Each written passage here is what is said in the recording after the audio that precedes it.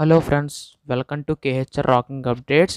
TS EAMCET apply చేసుకున్న వాళ్ళందరికీ కూడా ఈ వీడియోలో ఎలా అప్లై చేసుకోవాలో కంప్లీట్గా డీటెయిల్గా మీకున్న డౌట్స్ అన్నీ గ్యాదర్ చేసుకుని ఈ వీడియోలో అయితే చెప్పడం అయితే జరుగుతుంది. అందరూ ఈ వీడియో చివరి వరకు చూడండి. సో మీరు ముందుగా ఏంటంటే ఈ డాక్యుమెంట్స్ అన్నీ కూడా అన్నీ మీ దాంట్లో ఉండేలా చూసుకోండి. ముందుగా చూసుకుంటే మన credit card debit card. Credit card debit card అనేది అయితే మీదై ఉండాలి. ఎందుకంటే మ్యాక్సిమం మీదైతే ఉంటే కనుక ఒకవేళ పేమెంట్ ఇష్యూస్ ఏమైనా స్ట్రక్ అయినా కానీ రిఫండ్ అయితే కనుక మీకైతే వస్తుంది. బయట అప్లై చేస్తే కనుక వాళ్ళకైతే వెళ్ళిపోతుంది. సో మ్యాక్సిమం మీరైతే మీదైతే ఉండేలా చూసుకోండి. మ్యాక్సిమం ఆన్లైన్ అప్లై చేస్తారు కాబట్టి. అలాగే ట్వెల్త్ క్లాస్ సర్టిఫికేట్స్ అయితే ఉండాలి. అంటే ట్వెల్త్ క్లాస్ సర్టిఫికేట్స్ అని అంటే కనుక చాలామంది ఇంటర్ ఫస్ట్ ఇయర్ అనుకుంటారు. ఇంటర్ ఫస్ట్ ఇయర్ హాల్ టికెట్తో మనకు పని లేదు. ట్వెల్త్ క్లాస్ హాల్ టికెట్తో పని ఉంది. అంటే ఇంటర్ సెకండ్ ఇయర్ హాల్ టికెట్తో పని అయితే ఉంది. అదైతే ఉంచుకోండి మీ దగ్గర అయితే. అలాగే birth certificate SSC equivalent certificate ఇవన్నీ చూసుకుంటే కనుక మనకి ఎస్ఎస్సి అయితే మెయిన్ అయితే ఉంటుంది. So SSC certificate hall ticket number అయితే మీరైతే దగ్గర అయితే ఉంచుకోవాలి. అలాగే ఇక్కడ చూసుకుంటే కనుక local candidate certificate issued by MRO complete authority ఉంది. అంటే మీకు లోకల్ క్యాండిడేట్ సర్టిఫికేట్ అయితే ఒకటి అయితే ఉంటుంది. అదైతే మీ దగ్గర దగ్గర అయితే ఉంచుకోవాలి. ఆ తర్వాత అలాగే చూసుకుంటే కనుక income certificate issued by MRO అలాగే చాలామంది అయితే ఓసీ వాళ్ళు అయితే ఈడబ్ల్యూఎస్ అయితే వెంటనే అప్లై చేసుకోండి. ఎందుకంటే ఇప్పుడు కాకపోయినా కానీ మన కౌన్సిలింగ్ ప్రాసెస్ అయితే చాలా వరకు కూడా యూజ్ అయితే అవుతుంది. మీకు ఫీజు రిమెంబర్మెంట్ రావన్నా కానీ అదైతే చూసుకోవాల్సి ఉంటుంది. అలాగే ఆధార్ కార్డ్ అయితే ఉండాలి. అంటే చాలామంది దగ్గర అయితే ఇదైతే కామన్గా అయితే ఉంటుంది.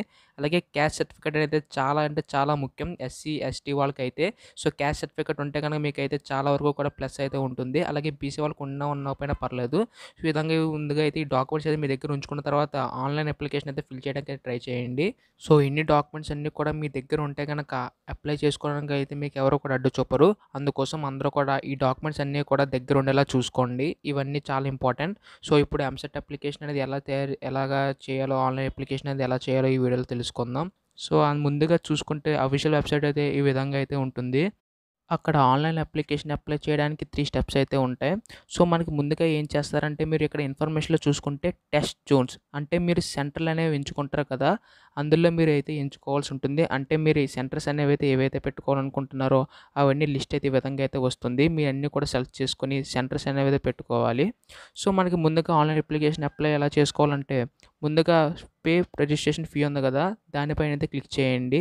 అక్కడ క్లిక్ చేసిన తర్వాత ఈ విధంగా అయితే మనకైతే రావడం అయితే జరుగుతుంది.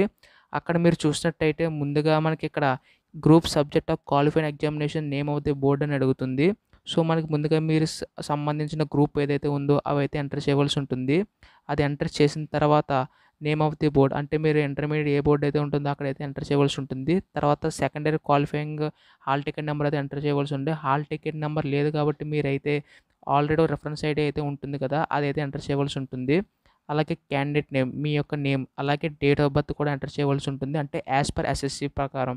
అలాగే క్యాండిడేట్స్ మొబైల్ నెంబర్ మీ ఒరిజినల్ మొబైల్ మొబైల్ నెంబర్ అయితే ఇవ్వండి. అంటే వర్కింగ్లో మొబైల్ నెంబర్ అయితే ఇవ్వండి.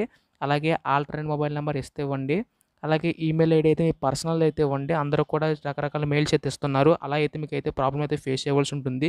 ఎందుకంటే ఓటీస్ ఓటీపీస్ అనేవి అయితే అందులో అయితే రావడం అయితే జరుగుతుంది. అలాగే కేటగిరీ అంటే మీ ఏ క్యాస్ట్ అని చెప్పి అక్కడైతే మెన్షన్ చేయవలసి ఉంటుంది. అలాగే ఫిజికల్ హ్యాండిక్యాప్డ్ అయితే అక్కడైతే సర్టిఫికేట్ అయితే సబ్మిట్ చేయాలి.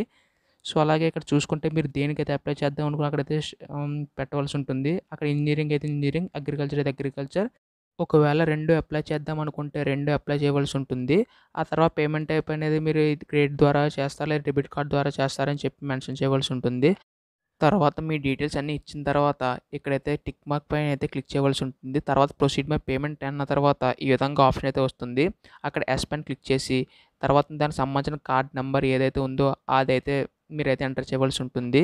తర్వాత మీకు పేమెంట్ చేసిన తర్వాత ఇక్కడైతే సక్సెస్ అని అయితే చూపెడుతుంది. అప్పుడు మీ పేమెంట్ అయితే సక్సెస్ అయిపోతుంది తర్వాత మీ పేమెంట్ అయితే ఈ విధంగా చూపెడుతుంది your payment done successfully your payment reference ID అని చూపెడుతుంది. ఆ నెంబర్ ఒకసారి అయితే మీరు అయితే నోట్ చేసుకోండి. తర్వాత proceed to fill online application అని చెప్పేసి ఉంది. అంటే మీరు అక్కడికి వెళ్ళినా ప్రెస్ చేసిన డైరెక్ట్ వెళ్ళిపోవచ్చు. లేదా హోమ్ పేజ్కి వెళ్ళినా కానీ ఇక్కడ క్లిక్ చేసినా కానీ అయితే మీరు అయితే వెళ్తారు ఆ పేజ్కి అయితే. సో అక్కడ ఎంటర్ చేసేటప్పుడు ఈ విధంగా అడుగుతుంది. ఇందాక రెఫరెన్స్ ఐడి ఉంది కదా అదైతే గుర్తుంచుకున్న తర్వాత అక్కడైతే ఎంటర్ చేయవలసి ఉంటుంది. పైన ఈ విధంగా చూపిస్తున్నారు కదా ఆ విధంగా అయితే ఎంటర్ చేయవలసి ఉంటుంది. తర్వాత ఇక్కడ చూసుకుంటే క్యాండిడేట్ డీటెయిల్స్ సంబంధించి అన్నీ అడుగుద్ది. సో దానికి సంబంధించి అయితే మీరు అయితే మొత్తం అన్నీ కూడా ఎంటర్ చేయవలసి ఉంటుంది. ఎంటర్ చేసిన తర్వాత ఇక్కడైతే మళ్ళీ మీరు మేలా ఫీమేలా అని అడుగుద్ది మీరైతే ఏది కావాలో సెలెక్ట్ చేసుకోవచ్చు. అలాగే కేటగిరీ కూడా అడుగుద్ది. ఒకవేళ మీకు ఓసీ అయినట్టయితే ఈడబ్ల్యూఎస్ ఉంటే కనుక ఆ సర్టిఫికేట్ అయితే అప్లోడ్ చేయమని అడుగుద్ది. లేదా సర్టిఫికేట్ నెంబర్ అయినా ఎంటర్ చేసినా సరిపోద్ది.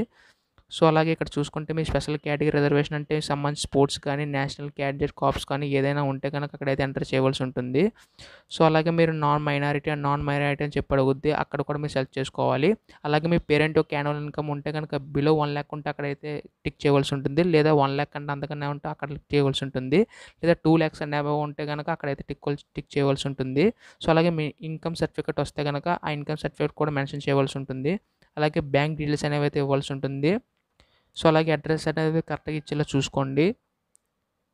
సో అడ్రస్ అనేది కరెక్ట్గా ఇచ్చిన తర్వాత మీరు రూరల్ అర్బన్ అని చెప్పి అడుగుద్ది. సో దానిపైన క్లిక్ చేసిన తర్వాత మీ టైప్ ఆఫ్ ఎగ్జామ్స్ చూసుకుంటే టీఎస్బీఐ కాబట్టి ఏదైతే ఉంటుందో అవన్నీ సెలెక్ట్ చేసుకోవచ్చు. అలాగే ఇక్కడ గ్రూప్ అయితే అడుగుద్ది. మీరు ఏ గ్రూప్ అయితే అక్కడ సెలెక్ట్ చేయవలసి ఉంటుంది.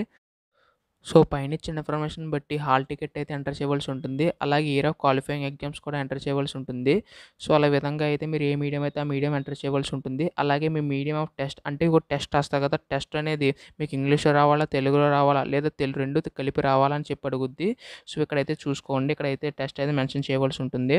సో ఎస్ఎస్సి సంబంధించి అయితే అర్బన్ రూరల్ అది కూడా ఎంటర్ చేయవలసి ఉంటుంది. పైన వచ్చేసి ఇంటర్మీడియట్ ఇప్పుడు వచ్చేసి ఎస్ఎస్సి.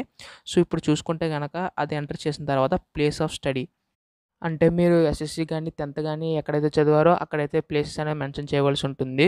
సో కిందకి వెళ్ళిన తర్వాత టెస్ట్ జోన్స్ అయితే అడుగుతుంది. అంటే మీ సెంటర్స్ అనేవి అయితే త్రీ అయితే పెట్టుకోవాలి. అందులో మీకు నచ్చింది ఏదైనా ఒకటి వస్తారు సో అక్కడ కిందకి వెళ్ళిన తర్వాత మీ ఫోటో కానీ సిగ్నేచర్ కానీ రెండు అప్లోడ్ చేయవలసి ఉంటుంది. ఫోటో అయితే అక్కడ చూస్ ఫైల్ మీద క్లిక్ చేస్తే మీ ఫోటో అనేది అయితే గ్యాలరీ నుంచి అయితే డౌన్లోడ్ అయితే అవుతుంది. అలాగే సిగ్నేచర్ కూడా చూస్ ఫైల్ అంటే మీరు సిగ్నేచర్ తీసుకునే విధంగా అయితే ఉంటుంది. సిగ్నేచర్ తీసుకుని గ్యాలరీ నుంచి అయితే అక్కడైతే అప్లోడ్ చేయవలసి ఉంటుంది. ఆ తర్వాత ఐ హ్యావ్ రీడ్ అని చెప్పి చేసిన తర్వాత సేవ్ కానీ నెక్స్ట్ కానీ క్లిక్ చేస్తే ఈ విధంగా అయితే వస్తుంది. సో మీ క్యాండిడేట్ డీటెయిల్స్ సంబంధించి ప్రతిదీ కూడా మొత్తం ఇప్పుడు మీరు అయితే ఏదైతే ఎంటర్ చేశారు ప్రతిదీ డీటెయిల్స్ అయితే ఈ విధంగా రావడం అయితే జరుగుతుంది. సో అన్నీ కూడా మీరు అయితే చెక్ చేసుకోవాల్సి ఉంటుంది. ఒకవేళ మీరు ఏమైనా మాడిఫై చేయాలనుకుంటే ఇక్కడ మాడిఫై ఆప్షన్ ఉంది కదా దానిపైన క్లిక్ చేస్తే మీరు అయితే మళ్ళీ మార్చుకోవచ్చు. ఒకవేళ లేదు మళ్ళీ లేదు డీటెయిల్స్ అన్నీ కరెక్ట్గా ఉన్నాయి అనుకుంటే సబ్మిట్ అయితే చేసేయండి. సో సబ్మిట్ చేసిన తర్వాత విధంగా అయితే అప్లికేషన్ ఐడి పైన అయితే వస్తుంది ప్రింట్ అప్లికేషన్ ఉంటుంది. సో అది ఐడి ఐడి అయితే గుర్తుంచుకోండి. సో ఐడి గుర్తుంచుకున్న తర్వాత దానిపై ప్రింట్ అప్లికేషన్ క్లిక్ చేయగానే ఈ విధంగా అయితే వస్తుంది. సో మీరు ఆ అప్లికేషన్ అయితే ప్రింట్ అయితే చేసుకోవాల్సి ఉంటుంది. లేదంటే మీరు స్టెప్ త్రీలో చూడండి ఇక్కడ fill print filled online application ఉంది. దానిపైన క్లిక్ చేసినా కానీ మీ యొక్క రెఫరెన్స్ ఐడి ఎంటర్ చేస్తే వెంటనే ఈ విధంగా అయితే డౌన్లోడ్ అయితే అవుతుంది. సో దానిపైన అయితే మీరు క్లిక్ చేస్తే అప్లికేషన్ అయితే ప్రింట్ చేసుకోవచ్చు. ఈ విధంగా అయితే ఉంటుంది. అలాగే మీ పేమెంట్ స్టేటస్ అనేది వర్క్ అయింది లేదని చెక్ చేసుకోవడం ఆప్షన్ కూడా ఉంది. Know your payment status so విధంగా అయితే ఉంటుంది. అక్కడ మీరు పేమెంట్ స్టేటస్ అని చెక్ చేసుకోవాలనుకుంటే ఆ రెఫరెన్స్ ఐడి ఎంటర్ చేసిన తర్వాత చెక్ పేమెంట్ స్టేటస్ అంటే మీ సంబంధించిన రెఫరెన్స్ ఐడి అలాగే పేమెంట్ స్టేటస్ అని సక్సెస్ అయినట్టు చూపెడుతుంది. ఈ విధంగా అయితే ఎంసెట్ అనేది అప్లై చేసుకోవాల్సి ఉంటుంది. అంటే మీకు ఇంకేమైనా డౌట్స్ ఉంటే కింద కామెంట్ చేయండి తెలియడానికి ట్రై చేస్తాను. అంటే ఎంసెట్ సంబంధించి కానీ లేదంటే ఈ పేమెంట్ ఇష్యూస్ కానీ లేదా సర్టిఫికేట్ ఇష్యూస్ కానీ ఏమైనా ఉంటే కింద కామెంట్ చేయండి తెలియజేయడానికి ట్రై చేస్తాను. So all the best for your EAMCET exam. అందరూ కూడా బాగా ప్రిపేర్ అయ్యి బాగా రాసి మంచి ర్యాంకులు సాధించి మంచి కాలేజ్ జాయిన్ అవుతారని ఆశిస్తున్నాను. సో ఇటువంటి వీడియోస్ అన్నీ కూడా మీరు కూడా మిస్ కాకుండా ఉండాలనుకుంటే ఛానల్ సబ్స్క్రైబ్ చేసుకోండి. టీఎస్ ఎంసెట్ సంబంధించి ఎటువంటి లేటెస్ట్ అప్డేట్ వచ్చినా మీకైతే వెంట వెంటనే తెలియజేస్తాను. అందుకోసం ఛానల్ సబ్స్క్రైబ్ చేసుకుని డైలీ ఫాలో అవుతుండండి. అలాగే వీడియో మీ ఫ్రెండ్స్ అందరికీ షేర్ చేయండి. వాళ్ళు కూడా తెలుసుకుంటారు. So thanks for watching guys. బాబాయ్ నో.